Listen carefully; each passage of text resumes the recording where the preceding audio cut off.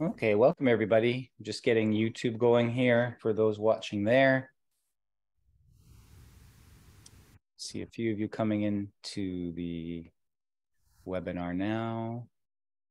Just getting YouTube going here. And let's cancel that out.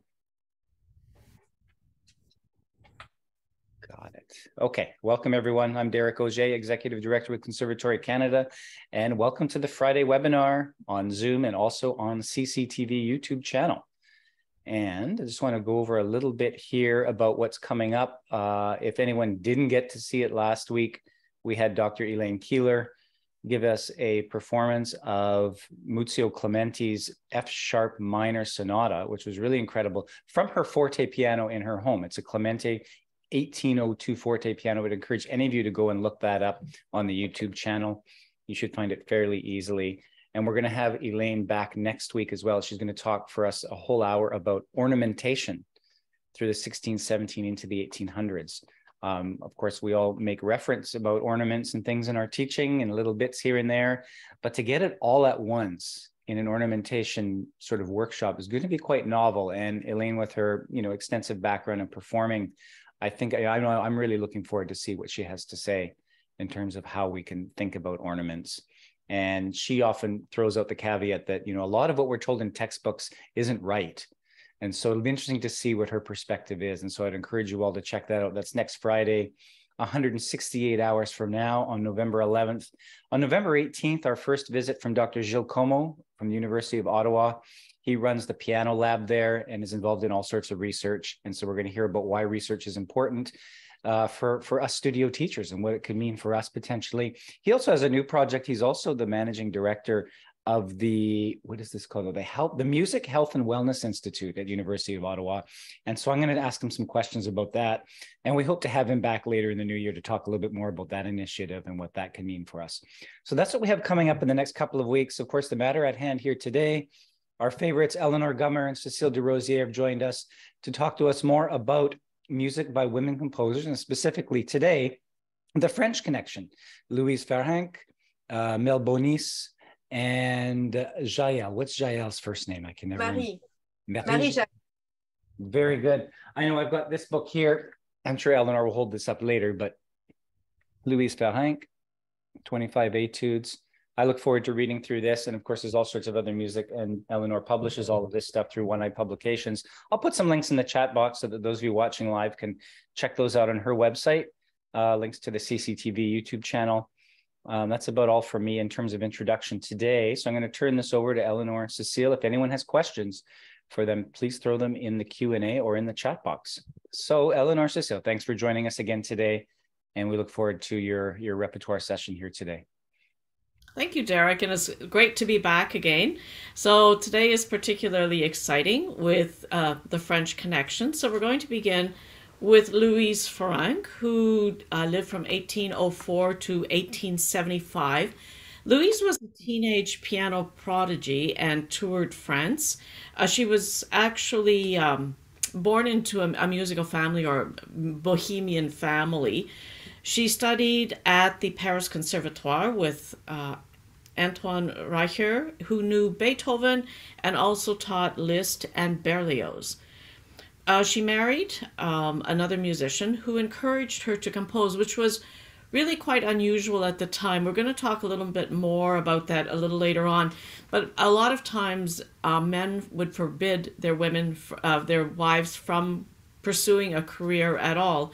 So this was um, rather unique. So together they opened a publishing company.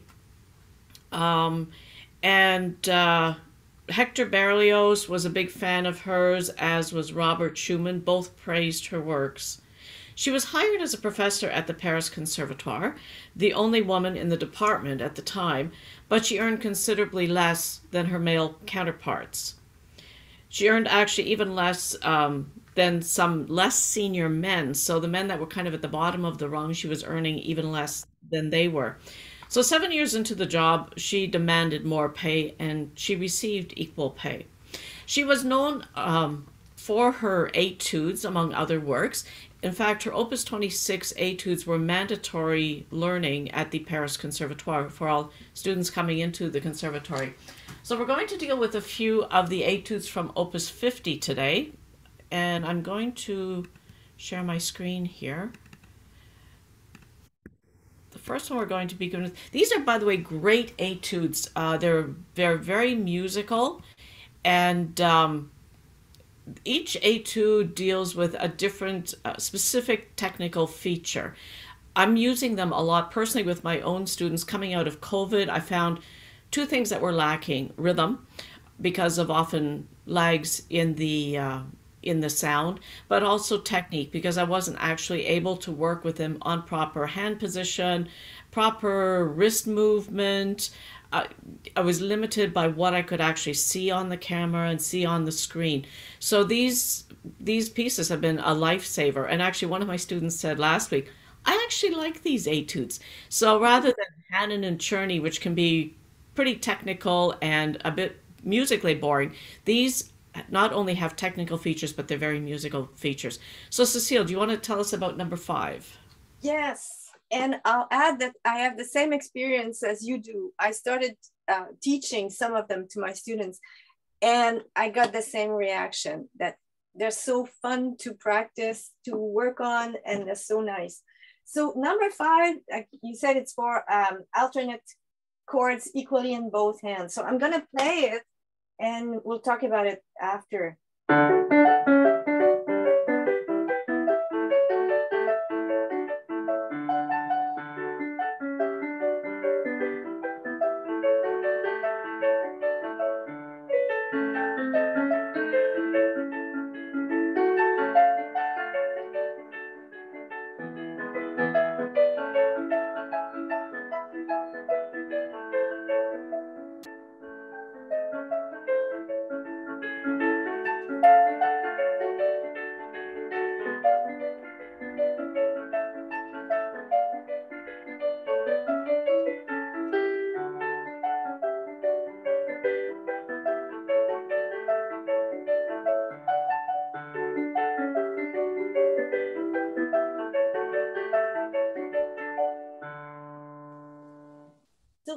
Challenges of that studies uh, are twofold. First, you have a melody in the right hand.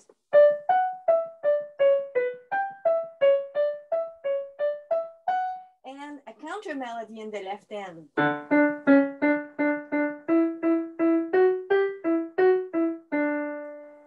And so it's a question of working on the, the phrasing and the balance between the two voices. Uh, also, it's all chords, right?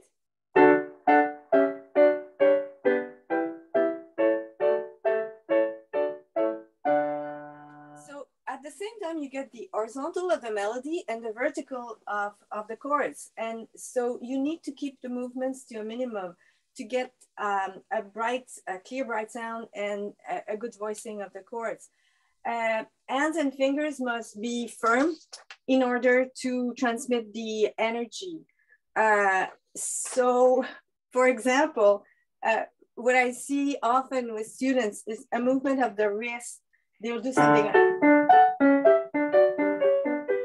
Uh, that's uh, sort of, um, I'm thinking of Chopin's example of um, the, the, the, the, the torso uh, being like a barrel of water conductive of energy. So you have to let the energy, the water, go from the torso to the fingertips. So this, of course, is counterproductive. So all that works as a unit and wrist and arm,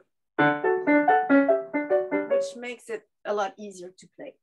So, uh, and also use the, uh, the image of a trampoline that seems to work well with, uh, with students. Like, light arms and you bounce. Now, a few practice tips. Um, I would play the chords, each beat as a solid chord.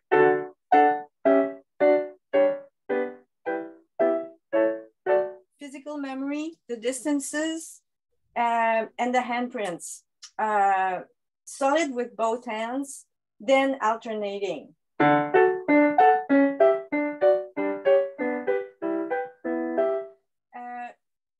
with the notes of the melody, like I said,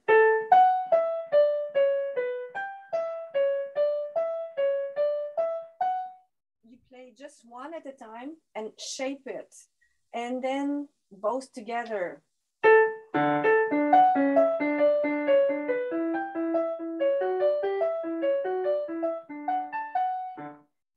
Helps a lot.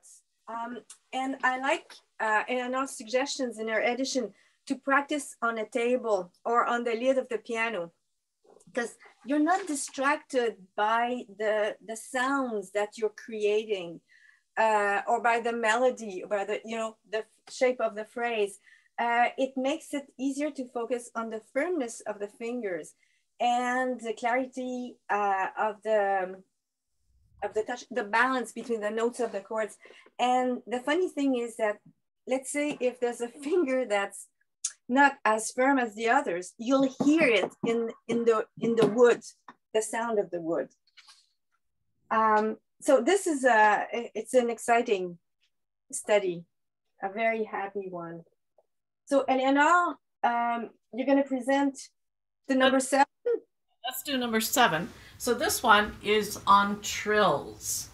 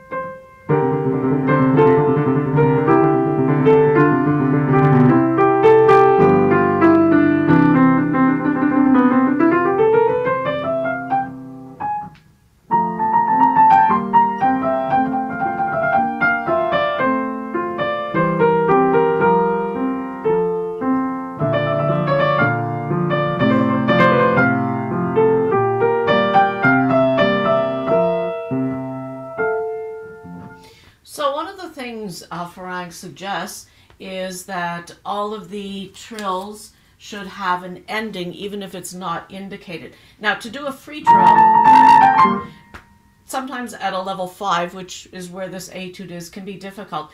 So it's good to start with a measured trill and I use 30 seconds.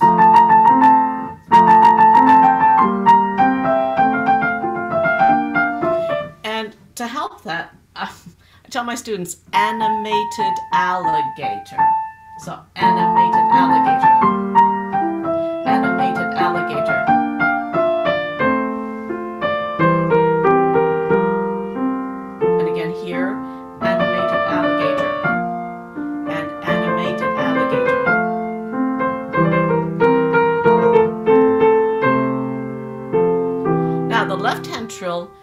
Um, I this took me back to trying to teaching some of the Bach inventions that have those left hand trills.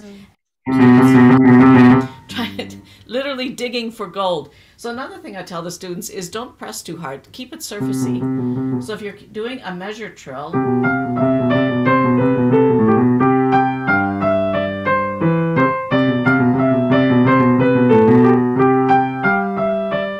so just a very light left hand helps helps those trills work but again begin with a measured trill until the student is ready to move into the the free trill. Um, now the left hand also has voicing.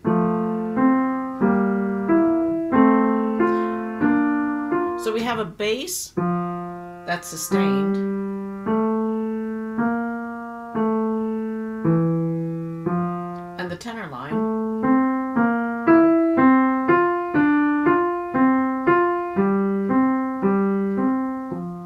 which really also helps with the shaping of the phrases.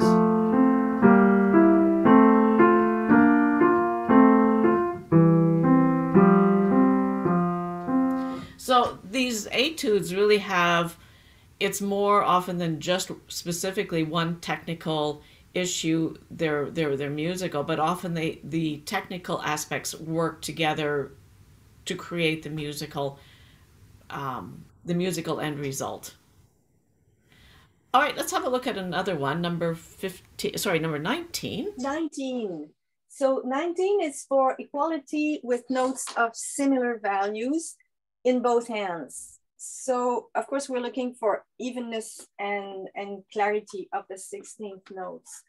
And again, it's, it's a very uh, musical study at the level uh, four.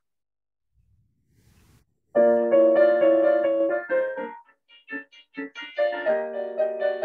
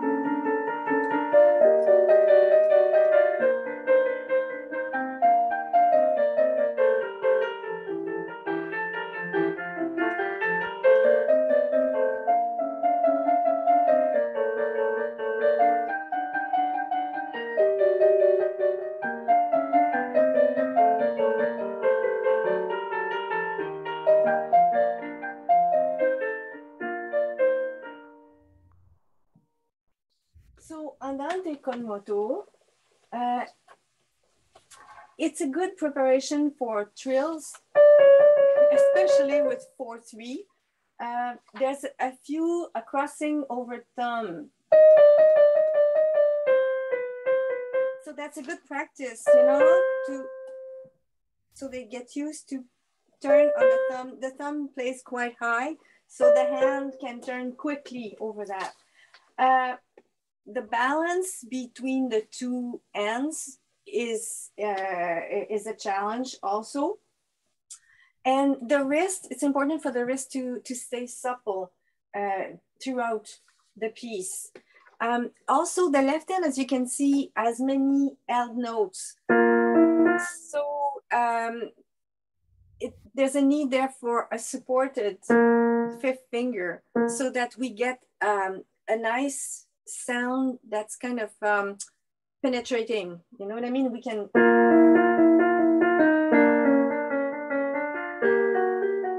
And this is something that I notice often. I have to tell my students they they have it. They will have a natural tendency to let go of that note. So it's to listen to it, to the sound of it, as a base to the whole thing. Um, I found working on it that the fingering is really important. It's very important to figure out the fingering for a good, a good legato touch. And, and also uh, you need to be aware, make your decision and stick to them. Uh, to be aware uh, of them for the coordination between the hands. Uh, there's a few tricky spots. Um, for example, bar 15 and 16, when you go there, there's a question of, okay, which fingers of each hands will collaborate best between each other? You know, the coordination of the fingering left hand, um, right hand. So the student may need to try a few things and see what comes uh, more naturally to, uh, to him or her. Uh, practice tips, um, it's important to work separate hands, obviously uh, slowly with fingers, finger, uh, firm fingertips and a flexible, supple wrist. Uh, I would work with rhythms. To work on the evenness. Uh, if you do one, you always do the opposite. So uh, dotted eight note 16, then you switch to 16 dotted um, eight. Uh, you go to 8 to 16. And then my favorite, of course, is one long, three short. And then, yeah, let me do that again. Etc. Etc. Um, variety is a key word here. Um, and again, yeah, give attention to the fingering for a really nice, beautiful legato line. And now we're moving to the last of the four, number 25. Uh, let me just pull it up here. There we go, number 25. All right, this one is, oh, the other thing that's interesting with this collection is the variety of keys she presents. It's not everything is in C major, G major, F major. She really does you know expand to up to four sharps and four flats. So i had a student who i assigned the e major scale to and she said oh i hate e major. I said well guess what? I have just the etude for you to help you with e major scale. So i gave her number 25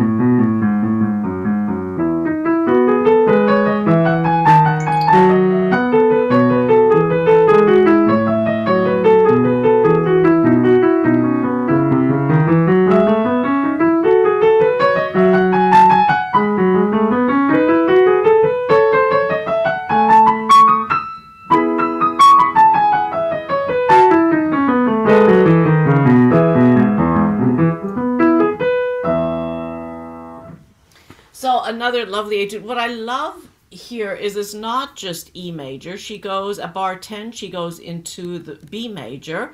And then the big surprise at bar 15 into E minor.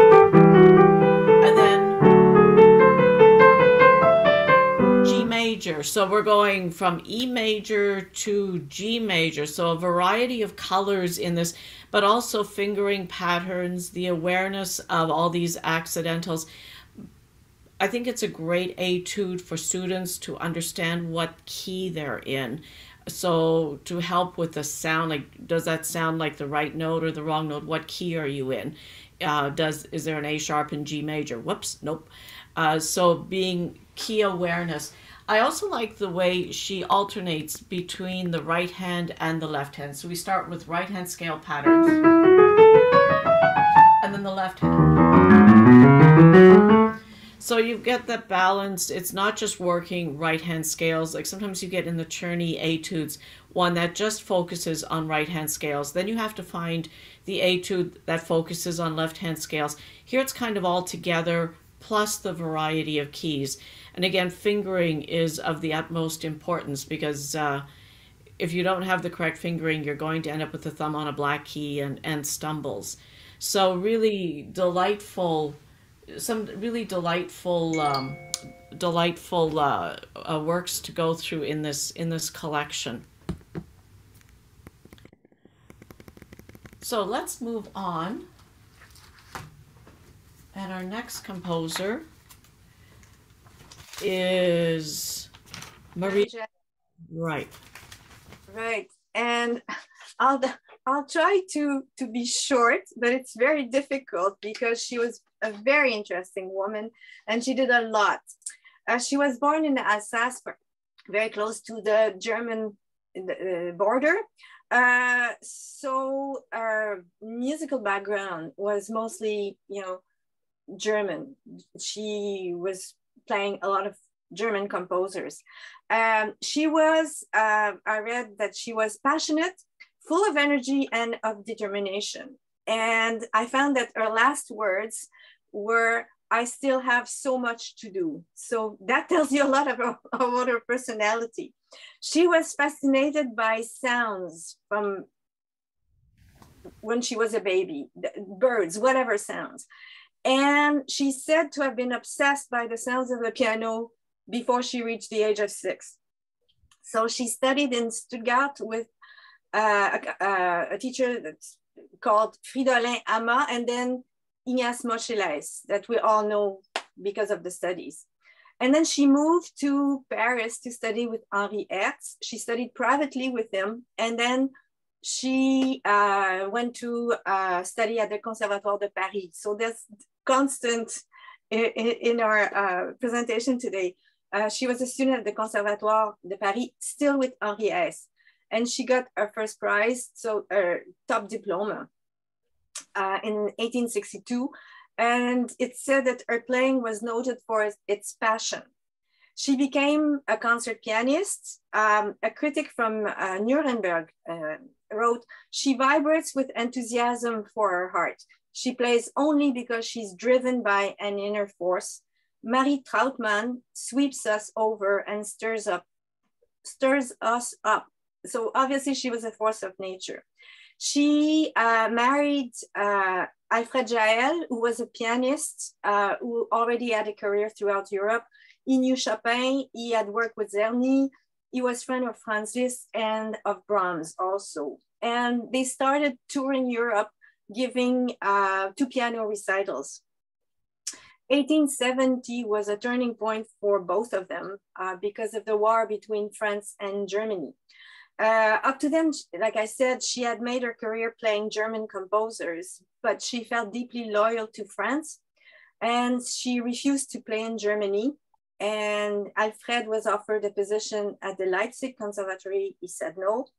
Uh, so they both tapped into the same spirit of nationalism that would also motivate Debussy. Uh, she took composition classes with Camille Saint-Saëns and César Franck and developed a friendship with both of them last, lasted till the end of their lives. Uh, 1882, her husband dies. She's only 35 years old. And she, from then on, she will bury herself in her work. She had sent some of her pieces to Liszt for appraisal. Uh, they became close. And for the last four years of Liszt's life, she will stay in Weimar for long periods of time. She will work with him as uh, and for him as proofreader, secretary, co-performer for concerts. And Liszt had a strong influence on her style uh, and on her thoughts regarding touch interpretation and piano pedagogy as she develops her own method uh, known as the touch. As we were saying earlier, the main preoccupation for Louise Farrenc, as well as for uh, Marie Jaell, was sonorities, was musicalities, was the technique to the service of the expressivity at the piano. Uh, she will play uh, the integral of Liszt works. Uh, the first one to do so, uh, she will play also all of the Beethoven sonatas and all the works of Schumann. So that was a new thing. And she was the, the first woman, if not the first pianist to, to do integral like that in concerts, um, like six nights in a row. Um, Saint-Saëns and Fauré will nominate her for the Société des Compositeurs de Musique, which was very important at the time. And, and again, as we see often, she's one of the first women to be admitted. And I'd like to, uh, to leave the last word to um, a blogger uh, that I read yesterday. Her name is Emily Hogstad. She's a violinist, freelance arts writer, and she wrote in her blog, Song of the Lark, and I won't, I mean, she used the F word, so I won't say that. But uh, after reading, she says, after reading about Marie Jaell, discovering her passionate, restless compositions that were appreciated and played by Liszt and by Saint-Saëns, reading a small amount of her gripping writing and appreciating her passion for her piano method and the surprisingly scientific method she used to arrive at it, I find myself asking yet again, how the F did I not know this woman? Uh, talking about books, she, she wrote those. Uh, artistic movements, the mechanism of touch, and music and psychophysiology. Uh, so she spent the last part of her uh, life just analyzing, thinking about this. But again, it's theory, but really applied theory all the time. She was a, a, a very romantic composer, writing often shorter pieces grouped together with descriptive romantic titles. Um, the first of them were published in 1871. Um, in terms of style, you can connect her with Mendelssohn, Schumann, but also she has the virtuosity of Liszt and the clarity and structure um, of Saint-Saëns. There's an influence there of the, the French style. Uh, and as I said earlier, it, she was very interested in pedagogy and psychology related to music, relationship between the body and mind, musical thought. Beauty of sound, taste are not mysterious magic, but can be described and worked on thanks to an awareness of the physical movements and appropriate exercises. So again, technique to the service of what we're gonna hear now that illustrate really well our style. So this is the Petite Valse Chantante by Jaell.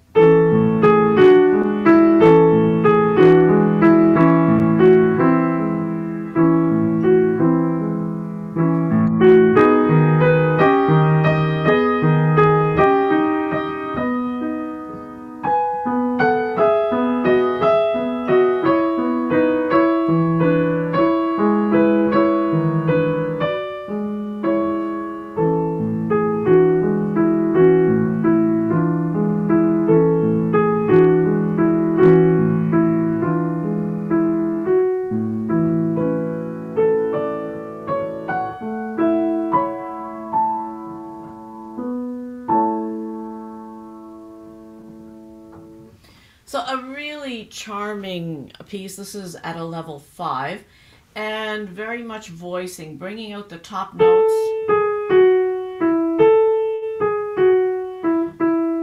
Of the melody and keeping this left hand. So a good chance to teach some wrist, uh, gentle wrist motion down, up, down, up, two note slurs. So we don't end up with you'd so typically hear from students. So, so floating off the second bass note all the way through, uh, phrasing. Um, it's really a good opportunity also for tonal colors. So if you're looking, I love uh, in bar 21. So let me just play from 16.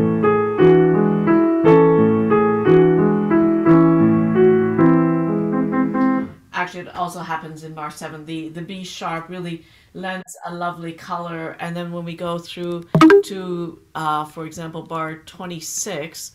Uh, some beautiful uh, harmonies in this. It's just it's a very musical piece and a really fun fun piece to teach and a, a good piece for the students to play. I think it would be a good recital piece or a competition piece. And then let's also have a look at another one of her works. This is the Papillon Gris.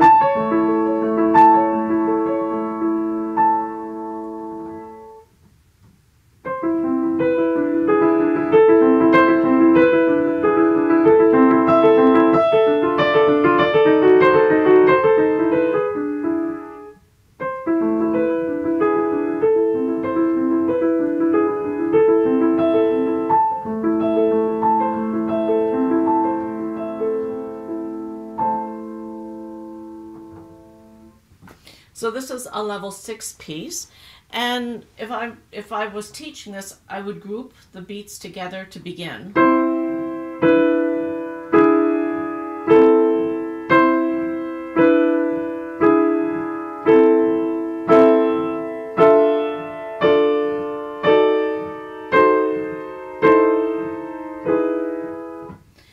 To give a sense of the phrasing and the harmony.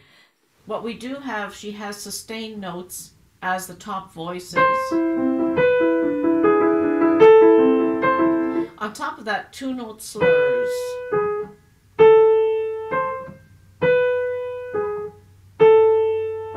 So together.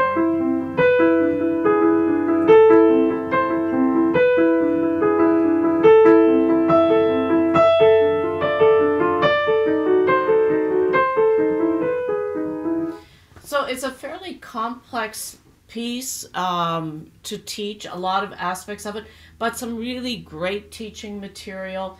Uh, again, fingering in order to connect these notes. Uh, the careful fingering does have to be worked out. And then the challenge of the pedal. Now, something I've started doing uh, is marking instead of these pedal marks i put up arrow. I'm not sure if i'm placing it very oh okay let's move that over just a wee bit here. I put up arrows where the pedal is to lift because i find what goes up must come down. So it's it's not so much about clearing the pedal, I make sure they lift on the correct note. If they're lifting on the correct note, you get the sound clearing.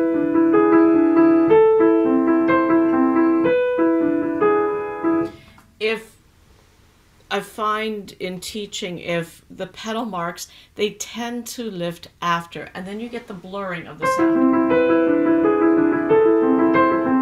They're not really sure it has to be very, very precise. So I find the arrows work extremely well um, just to help clarify the pedal. Um, all right, and then let's move on to Conte de fées. Quantife, yeah. So another beautiful piece. Um, that's um, again that would be level five so conte, conte de fées means fairy tale. So it opens up to the imagination of the student.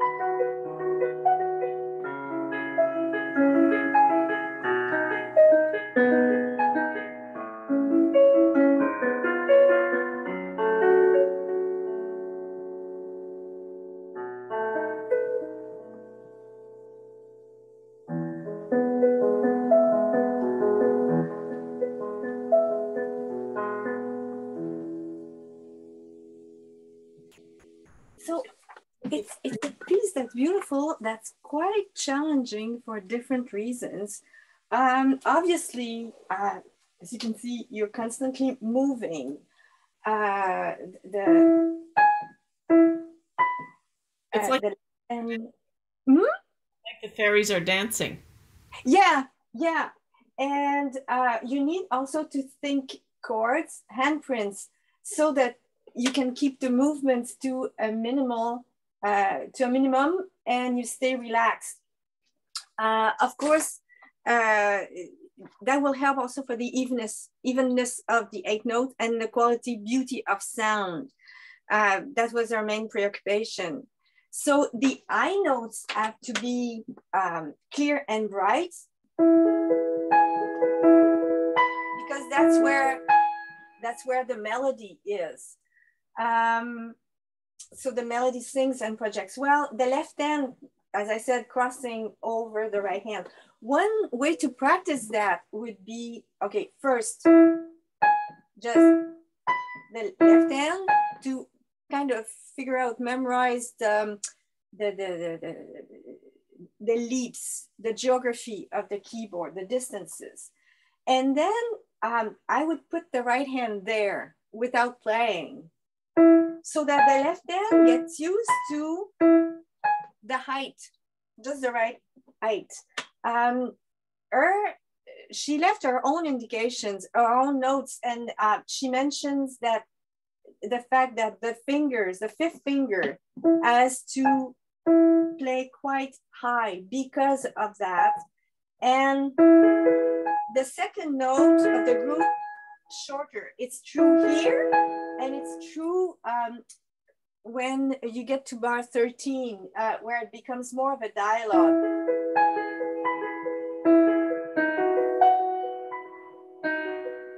Again, that flexibility of the wrist going down, up, that movement there, down. The circular motion is important to get the sound. Uh, the pedal is quite tricky. And uh, like Eleanor said, you need to change at the exact moment. And also because the, the phrases are of irregular length. So you change with the, with the bass. Uh, but if you see at the beginning, you change after three bars. You have three E's.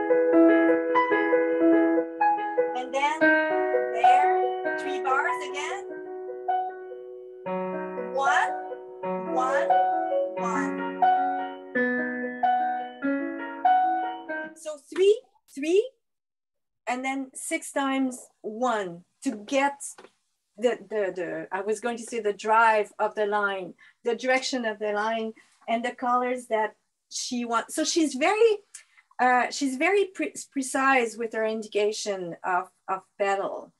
Um, and, and then later, if you look 13, 14, you change after two bars. Two bars, two bars, two bars. And again, the second page, you'll change with each bass so that it comes.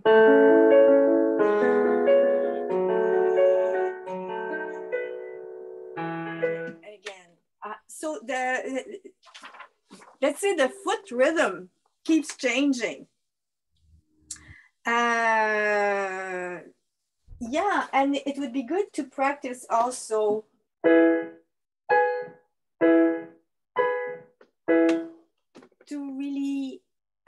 a good idea intellectually as well as physically of, of the chords. Um, yeah, and in terms of position, I, I talked about the fact that the fifth fingers are always high. And when you move, you find yourself in a strange, unusual position for a student. The second is really high, but it's also very close to the to the thumb, which makes it more comfortable because it's your whole hand that turns. So again, a beautiful piece. And then the last one um, that we wanted to show you is um, Quelques gouttes de pluie. Um, it says here, léger, pas trop vite. So that would be, uh, by the way, uh, level six. So it comes, uh, léger, pas trop vite means light, not too fast. And the way she writes at the beginning, she really thought about it. Uh, it kind of forces you to put the brakes because you have the you have the rhythm, the 16th appoggiatura, you know, the, the 16th pickup, and then you have the appoggiatura, and they're not quite together. And also she repeat the C.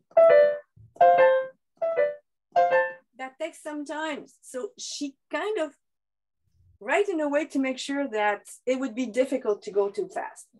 Uh, so that comes from uh, uh, an album uh, of 12 pieces talking only about rainy days. So let me Thank you.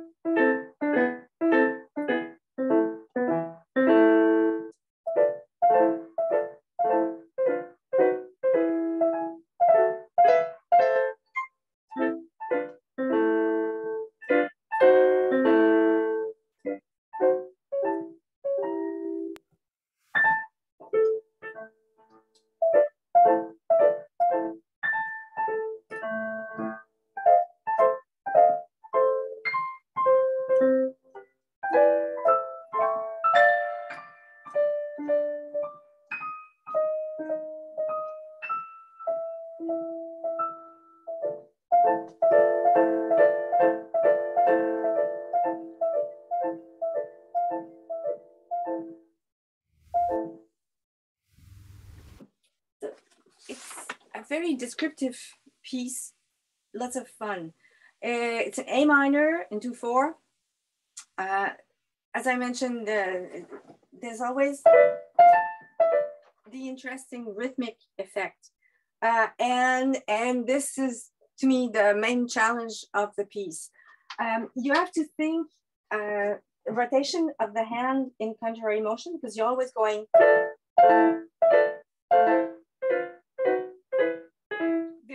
often you have that rotation right, left, right, right, left.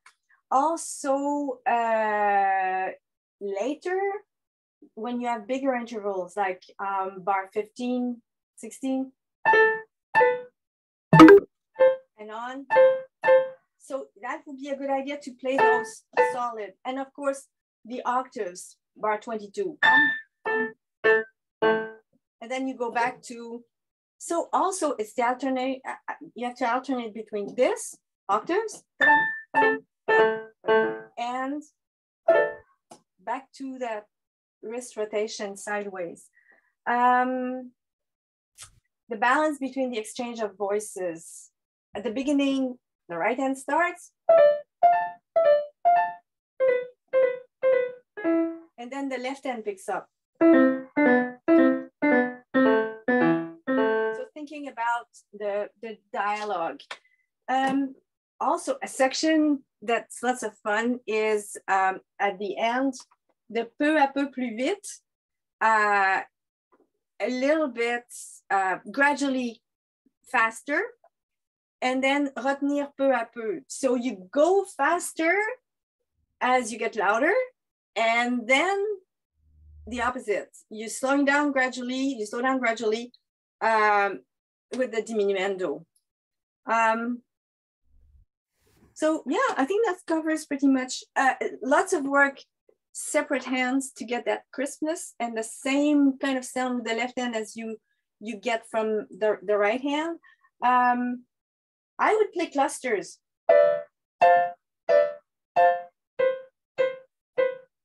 Again, to, to work on the handprints, uh, always looking for, okay, what's the simplest way to do something? And, and, and then to get the sound, that, that crispness of the, yeah, but lovely, lovely pieces to discover. It's very musical, very poetic, and a very interesting to work on. Really imaginative, like very. I, I can see kids playing playing in, in, in mud puddles, like he jumping and splashing or you know, hitting the puddles and it splashes. That's what it sounds like. Yeah.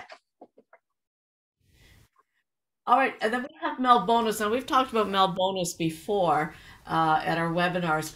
So we thought we'd give you a little bit of background on the uh, con- um, Paris Conservatoire because everything ties into the Conservatoire. All of these people were associated with the cons- conservatoire. So, Cecile, do you want to talk a little bit about where it started, and we can kind of. Yeah, yeah it, it's very. Uh, it's another system uh, completely, uh, typically French that has nothing to do with either. You know, here we know the word conservatory, uh, but it means something different that has nothing to do with the, the Royal Conservatory of Music, uh, the Conservatory Canada. It, it was, um, the origin uh, comes from the French Revolution. Um, it was it started in 17 well it was created in 1789 the year of the french revolution uh, with um, the music of uh, la garde nationale so basically it was the um, the french army uh, the music the musicians from the french army so we're talking of course wind players and they got together with benjamin Sarrette who was the first director of the conservatoire so he gathered 45 musicians chosen among the, the guards. And it became the free school of the French Guard.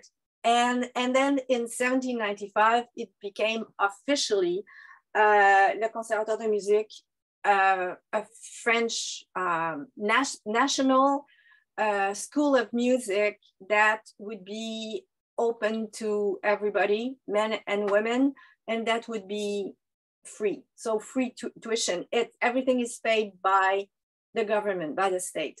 Of course, uh, uh, the competition has always been fierce from the very beginning.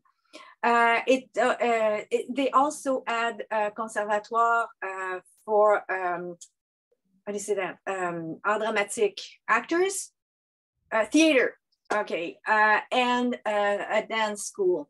So the Conservatoire was the first institution of higher education open to girls long before universities and the School of Visual Arts. So as I said, it, it was free, it was mixed, but uh, men and women had separate classes and women had limited access. Uh, they could uh, take harpsichord, piano classes, uh, voice, organ, harp, solfège, but composition, and theory uh, were not open to them. Uh, so you had dimension for men attached to those classes. And it took a long time for those mention to, to disappear. Uh, and you have to, you know, it lasted a long time, but uh, we have to remember that in the 19th century, French society um, was a very divided society, uh, it, it, encouraged um, an extreme polarization of sexes. Men and women were very, very separate in, in all fields. So um, men uh, were expected, uh, you know, to men, the professional domain. They, they could uh, become professional pianists. The world was open to them. Uh, to women, uh, well, it was more home uh, so music was more uh, a leisure, creative arts. Um, and, and so the, the programs were, were lighter, let's say. Um, and, uh, but serious as it was perceived as an important um, element of the formation of women. Uh, that if they would play piano well, uh, the uh, you know they had be better perspectives of a, of a good uh, marriage and if the family uh, comes into hard times hardship uh, they could teach piano and earn a living with this um, so it was more accepted very few women could become concert pianists but they could become piano teachers good piano teachers if need be uh, and at the same time, uh, it kind of uh, gave birth to uh, more uh, women who was concerned about piano pedagogy. Uh, at the conservatoire, you had more and more women teaching um, from 1816 on. Many are assistant professors part-time teachers, they will be responsible for a class, uh, répétiteur, accompanist, uh, but very few will teach, will have a full-time position, let's say. Uh, but it stays like women teach to women and, and for women wishing to compose, uh, it had always to go through the piano. So until 1914, women professors were attached only to piano classes, voice, solfège, harmony had opened by then, and accompaniment and figured bass.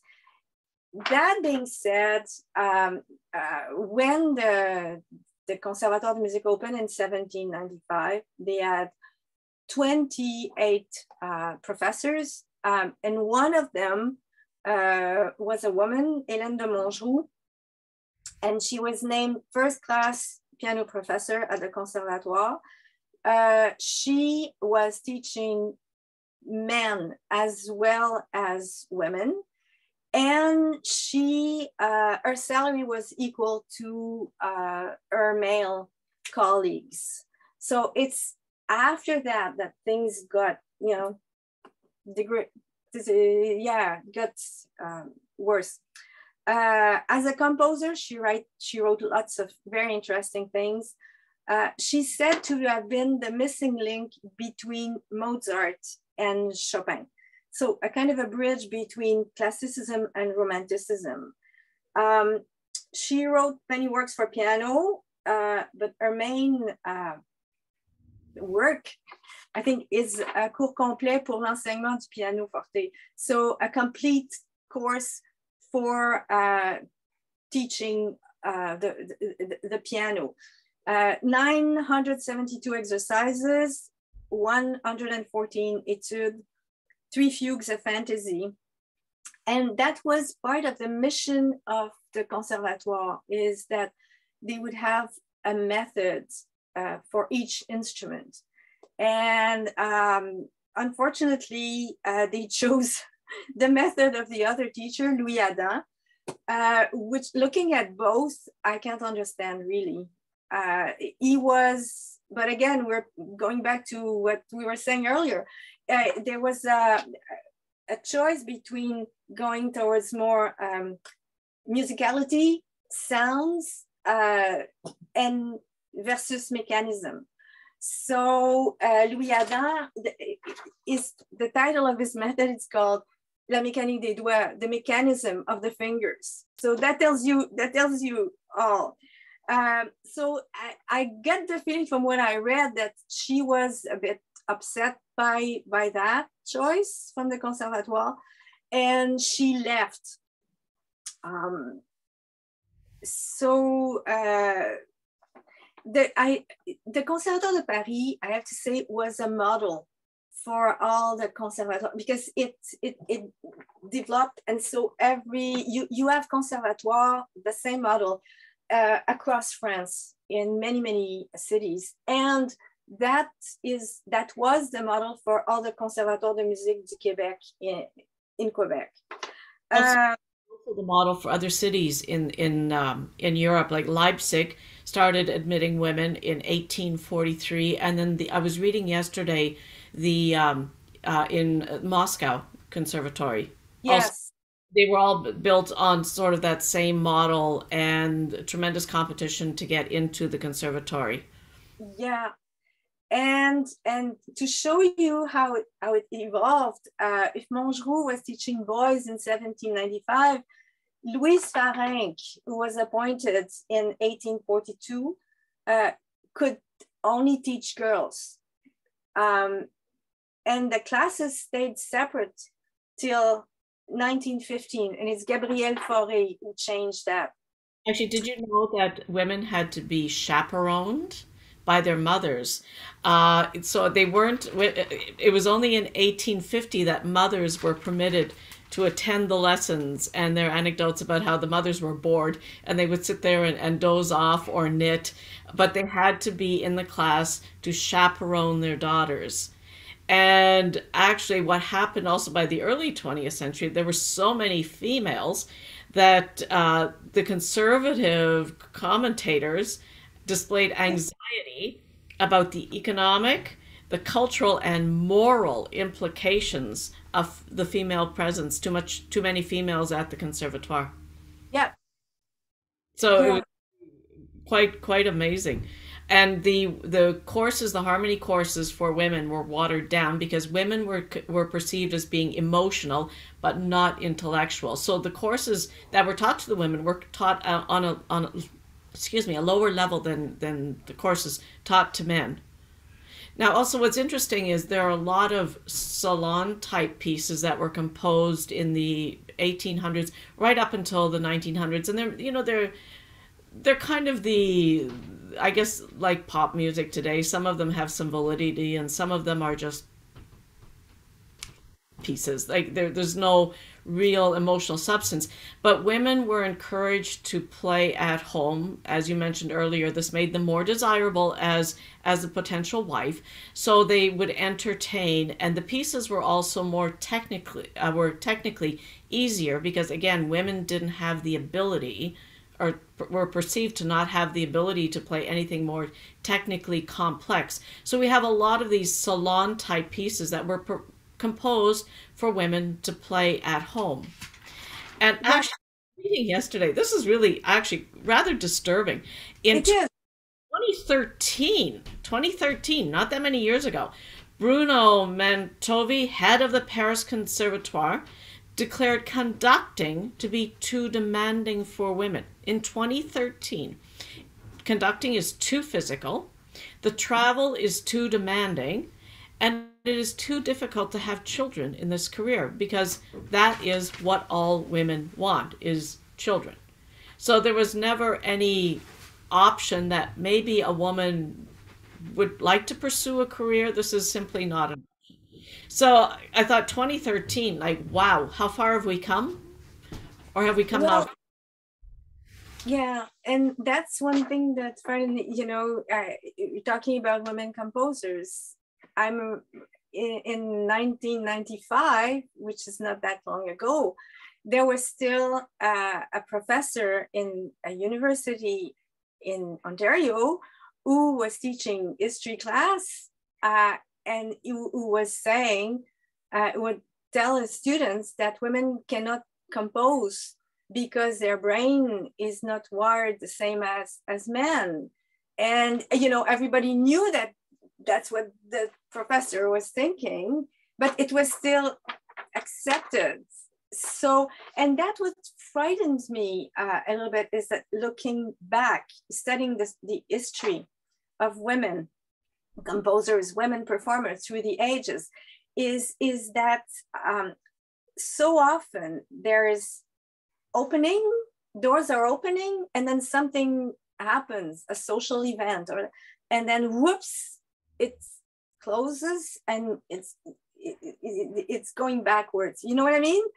And and so I just hope that the work we're doing uh, at the moment, uh, opening will stay that in 30 50 years uh, we'll all know about those women the works of those women uh, that they will still be playing and not forgotten absolutely like, well i mean that with publishing these works that's been the whole the whole object is to i mean when i started i heard a lecture two years ago at the mtna online the virtual conference and i thought oh well there's you know, women composers there's probably enough for one volume. I had no idea. No idea. In fact next week I'm, I'm going to the university of michigan to they have the largest collection of works by women composers to look at that collection because there are a number of composers there i've never heard of. So i'm really looking forward to seeing who else is out there. You know all these women that have been yeah. stuffed and, libraries and and their work's not known and there's there's so much beautiful music. Yeah. And you see to get back to uh Farrenc, uh was paid the same uh but not Louise Farrenc and she had to fight like for 10 years she had to fight to get equal pay and she also complained of discrimination uh, contesting the fact that if women could only teach women, uh, male teachers could teach both and would often get um, take the most promising female students in their own classes. Um, so yeah. Move forward with Mel Bonis, who was a classmate of Debussy's. We all know Debussy. How many of us knew about Bonis? so this is, let's go back to screen sharing here. And I'm going to play for you Uh, okay, just a minute here. And Mel Bonis was one who benefited. Um, you know, there's many of, those women who had a very strong formation, musical formation, who took compositions, uh, composition classes with very well-known composers. Um, uh, was a case with uh, with with those women, and um,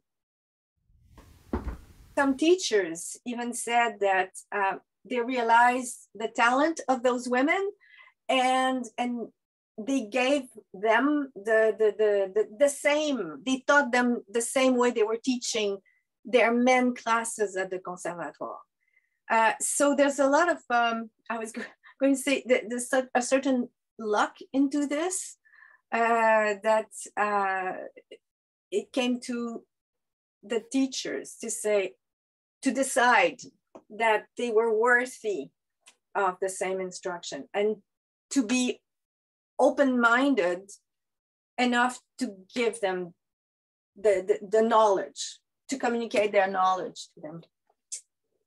All right this is marielle al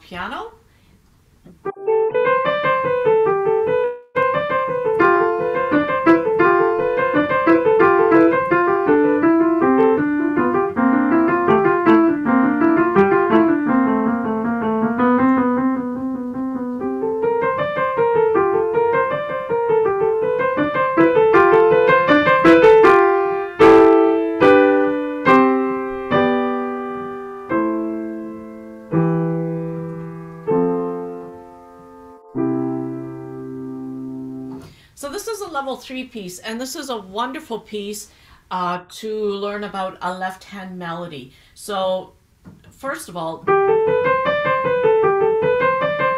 getting a clear finger action that we don't with with that type of sound.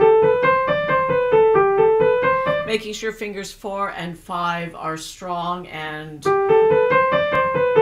properly curved and able to maintain the weight to get the left hand melody to sound, I find it's it students find it difficult to listen to a melody in the other hand. So I'll have the student play the right hand up on the top of the piano.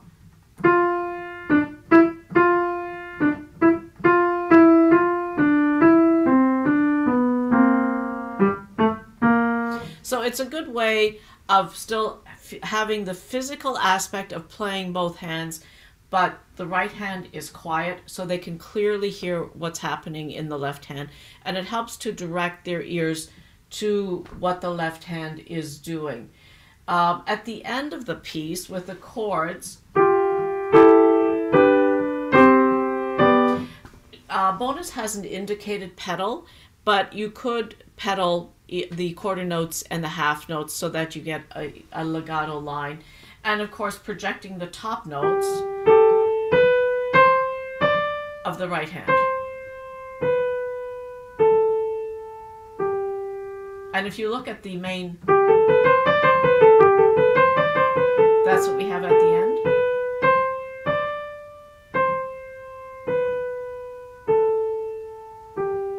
Just with different note values. So charming little piece. Um, not outrageously difficult, but it does have, it's, it's really almost like an etude. So it has some uh, really terrific technical value. And then there's, oops, okay, let's go to the, and another one, uh, uh similar, um, some similar challenges, do some E.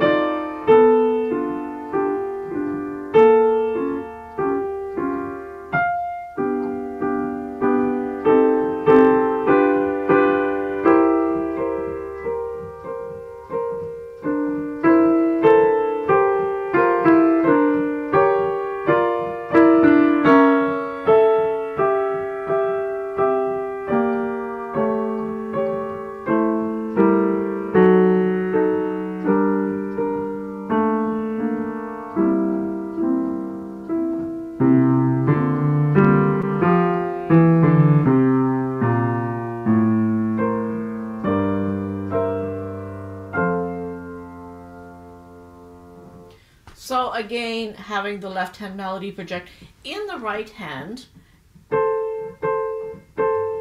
staying very close to the key so we don't get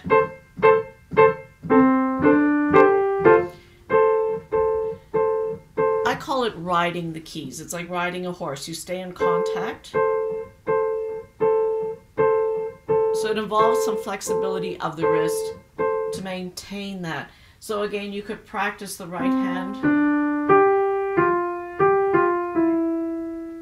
on the top of the piano or on the wooden part of the piano uh, to help the left hand project, to be able to hear that left hand.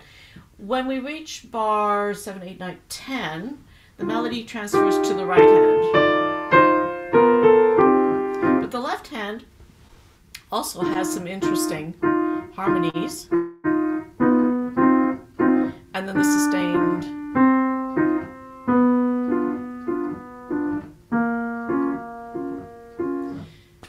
So there's a lot happening technically in this piece, um, along with musical aspects. So again, a very charming piece, a very good recital or competition piece. There's a lot in it in terms of a comp uh, playing it in a competition, a lot of value in it, a lot of details. If the student is able to master all of those, um, they would do very well with this piece.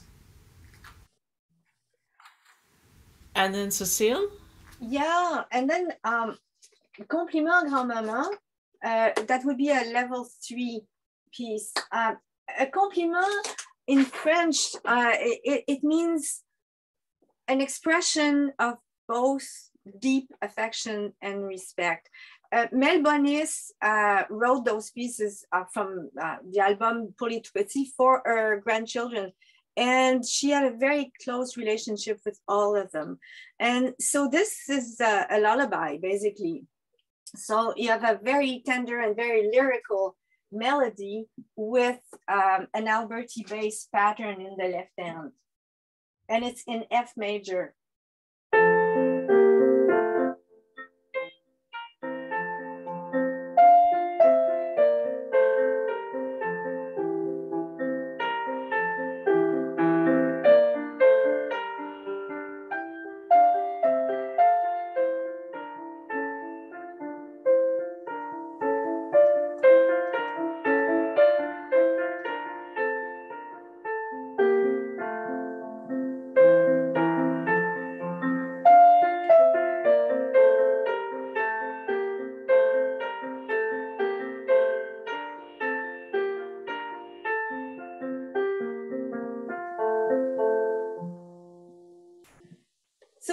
Challenges. Uh, of course, uh, there's a very smooth legato that's needed in the right hand and the balance between the melody and the Alberti bass accompaniment that has to stay uh, soft.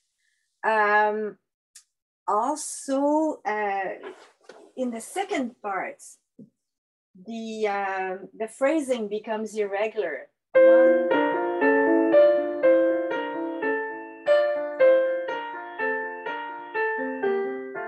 And it comes back like that, bar 14.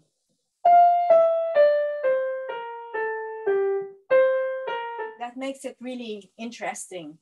Um, practice tips, of course, the melody and the left hand.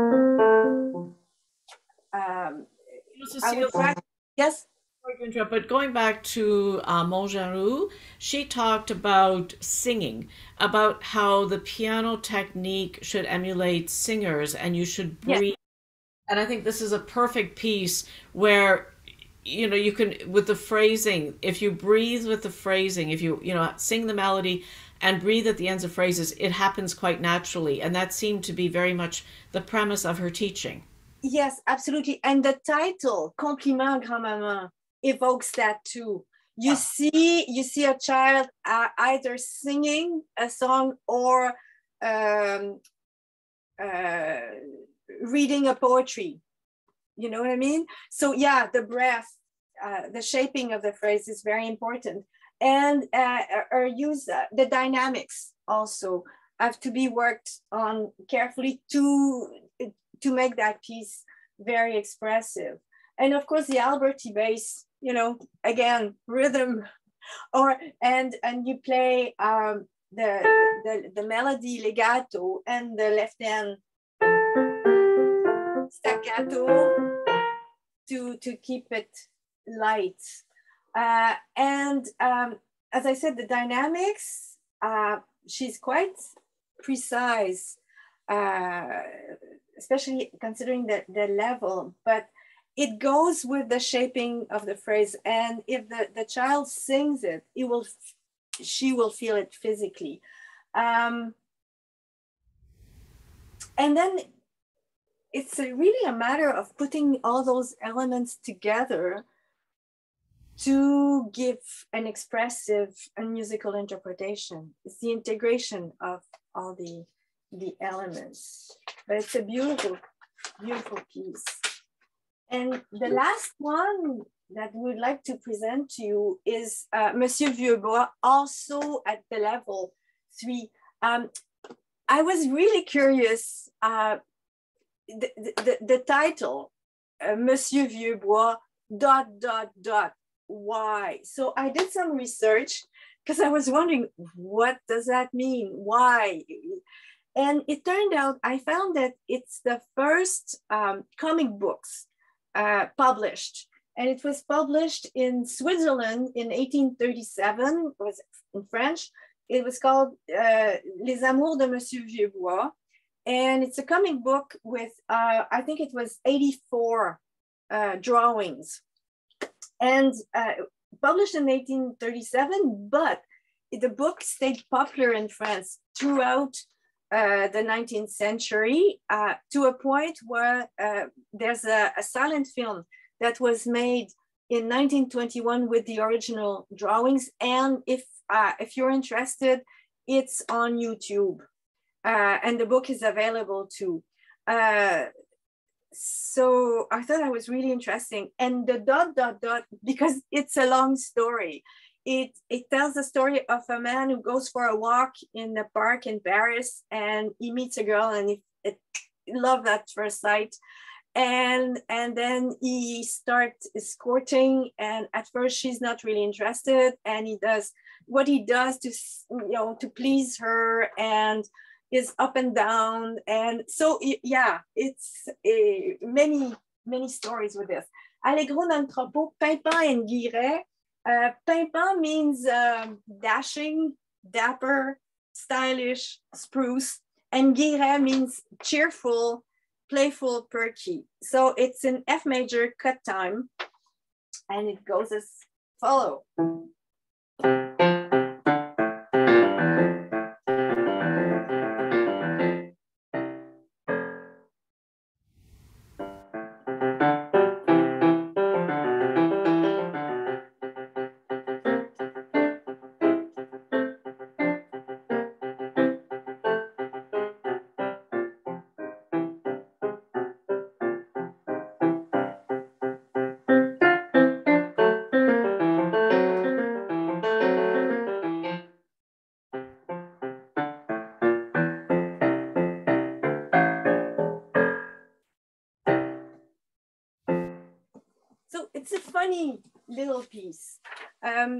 Challenge is, of course, it's you're alternating right hand, left hand, left hand, right hand. And um, play a lot uh, uh, with two, the second fingers. And then there's alternating right, left, so importance of fingering again you the, the child really has to think about what to do and how and when. Um, it's in cut time and uh, it's very important to have a clear pulse for the the funny character. Um, to me it really evokes uh, a comic book. Uh, the strong beat weak beats it's a perfect piece to to talk about that with the, the, the students. Um, one interesting point is uh, if you see at the bottom, uh, again, she put that position, she uses that where the right hand is on top of the left. for some students, I, I've had some students for whom that was really not comfortable and tricky. So it's good to just have the left hand there in position and the right hand placed above. So they get used to that position first. Um, it helps to play clusters when you have groups of two notes like again uh, to memorize what's the best position for the hand to play those notes and minimize the movement make things as easier as possible. Uh, and it helps also for the the physical memory. Um, Another thing that I find helpful for the repeated notes, uh, starting bar 10, there's a, a question of clear pulse, but there's also a question of rhythmic stability. So um, I like to, um, to use the, the third and thumb together, the, the donut position. Uh, I find that that helps to keep the rhythmic stability and the stability in, in the sound also. Um, but a really fun piece to play. It's it's really delightful, actually. It, mm. I just think some of the little boys I teach, uh, that would be a really fun piece for them, uh, especially yeah. if you you know if they watch the video or you know drew a drew a picture of who they perceive as uh, Mr. Vieuxbois yeah and the drawings are really really nice. Yeah yeah.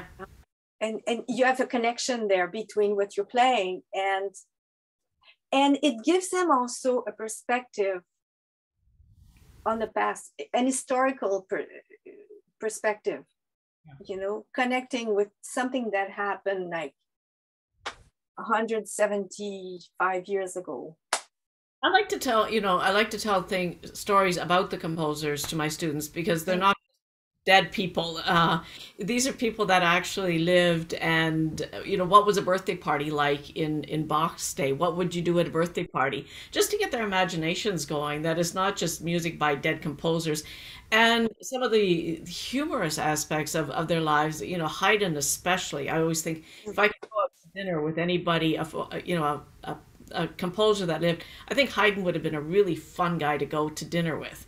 So think- they were human beings. They weren't uh, composers who were cerebral. These were human beings that had you know sense of humor, that had emotion. So I think it's important, if you know, to make that for students to make that connection. Yeah, yeah. Well, and thanks both of you for making those connections for us and bringing these composers to life, bringing their music to life. It just it's amazing how how exciting the music is, It and just we've never had access to almost all of this music until now, thanks to your efforts, Eleanor and Cecile. Um, tell us, you're going to be back next month. Is that right? On December second, is that correct? Yeah. What do you have for us on December second? we've got more of the French connection, and this time the composers. Let me just uh, pull this up here. It's a little more advanced repertoire, and we're doing again Mel Bonis, Cecile Chaminade, and Charlotte Sohy. Excellent. I've enjoyed all of their compositions in some of the earlier volumes that you published last year.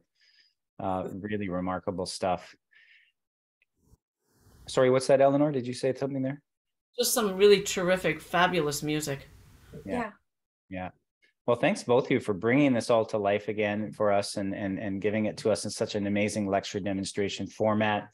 Um, it's really engaging and great to see. I hope everyone will check out the replay of this webinar and the others that you've done. You have your own playlist on the YouTube channel where you can see all of Cecile and Eleanor's webinars from the past and all the future ones will be located there as well. You know, I'm not seeing any questions here. We have a slightly smaller audience live with us today. If anyone here has any questions, please throw them in the Q&A, raise your hand, throw them in the chat box in the next moment, and we'll be sure to get those answered for you. Otherwise, you can join these two again on December 2nd for more of the French Connection, as they mentioned, more of the senior composers. I'd encourage you to check out uh, next week, next Friday again. Uh, Dr. Elaine Keillor will be with us again to talk about ornamentation. I suspect she may even be playing from that amazing forte piano of Clementi again for us as she demonstrates. Dr. Gilles Comeau the week after that on Friday, November 18th. I'll be in a different studio that day. I'll be I'll be down at our head office in London, Ontario that week. So I'm looking forward to that. I haven't been there for three years since the pandemic started. So I'm looking forward to that little bit of travel again. And uh, not seeing any questions here for either of you today, uh, but some thanks coming up there in the Q and or in the chat box. Glad you all seem to be enjoying this. And we look forward to connecting next Friday. And Cecile Eleanor, thanks so much for today. And we look forward to seeing you on December 2nd again for the next installment of this. Thank Thanks. you. Okay, Bye. thanks everybody. Have a great weekend. We'll see you next week.